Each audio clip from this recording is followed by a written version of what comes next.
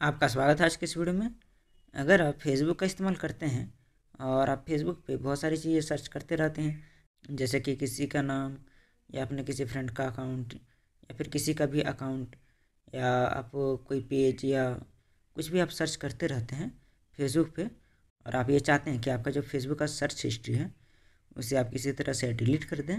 लेकिन आपको ये नहीं पता है कि फेसबुक का सर्च हिस्ट्री कैसे डिलीट किया जाता है और कैसे निकाला जाता है।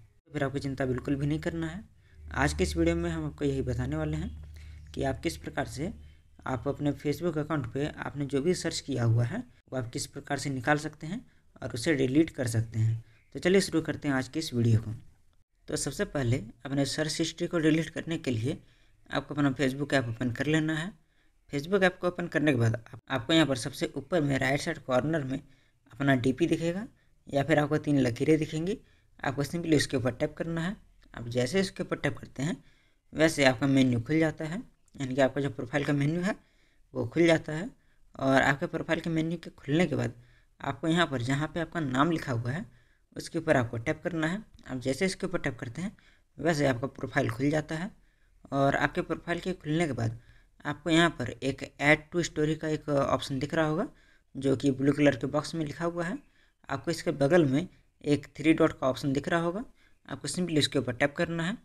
उसके ऊपर टैप करने के बाद आपका प्रोफ़ाइल का जो सेटिंग्स है, वो खुल जाता है और आपके प्रोफ़ाइल के सेटिंग्स के खुलने के बाद आपको यहाँ पर एक ऑप्शन ढूंढ लेना है, जिसका नाम है एक्टिविटी लॉग जैसा कि आप यहाँ पे स्क्रीन पे देख रहे हैं कि हमारे स्क्रीन पे एक्टिविटी लॉग नाम का एक ऑप्शन दिख रहा है। तो आपको सिंपली इसके ऊपर टैप करना है। आप जैसे इसके ऊपर टैप करते हैं, वैसे आपके सामने एक्टिविटी लॉग का जो पेज है, वो खुल के आ जाता है।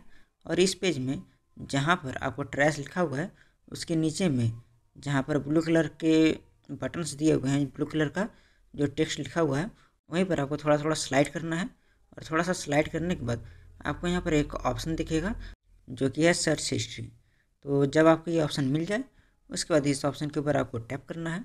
आप जैसे इसके ऊपर टैप करते हैं, वैसे ही आपने फेसबुक के ऊपर जो भी चीज़ें सर्च की हुई है, वो सारी सारी यहाँ पर आपको मिल जाएगी। उनका लिस्ट यहाँ पे आपको नज़र आने लगेगा। तो उसके बाद आपको जो भी एक सर्च हिस्ट्री डिलीट करना है, आप उस हिस्ट्री को डिलीट करने के लिए उस हिस्ट्री के बगल में आपको एक थ्री डॉट का ऑप्शन दिख रहा होगा। आपको सिंपली इसके ऊपर टैप करना है। आप जैसे इसके ऊपर टैप करते हैं, वैसे आपको सबसे नीचे में एक रेड कलर का डिलीट का ऑप्शन दिख रहा होगा। आपको सिंपली इसके ऊपर टैप करना है। आप जैसे इसके ऊपर टैप करेंगे, वैसे आपके सामने एक पॉप मेन्यू आएगा, जहाँ पर आपसे एक कन्फर्मेशन मांगा जा रहा है। और आपको बोला जा रहा है कि अगर आप इस हिस्ट्री को डिलीट कर देते हैं तो फिर आप इस हिस्ट्री को दोबारा से रिस्टोर नहीं कर सकते हैं। तो इस हिस्ट्री को डिलीट करने के लिए यहाँ पर आपको कैंसिल के बगल में जो डिलीट का ऑप्शन है, आपको इसके ऊपर टैप करना है। आप जैसे इसके ऊपर टैप करते हैं, वैसे ही आपका जो सर्च हिस्ट्री है, वो डिलीट हो जाता है। और इस प्रकार से आप ये समझ गए होंगे कि आप कैसे फेसबुक पे अपने सर्च हिस्ट्री को आप किस तरह से डिलीट कर सकते हैं। तो चलिए आज की इस वीडियो को रखते हैं। बस यहीं तक, मिलते हैं आपसे अगले वीडियो में।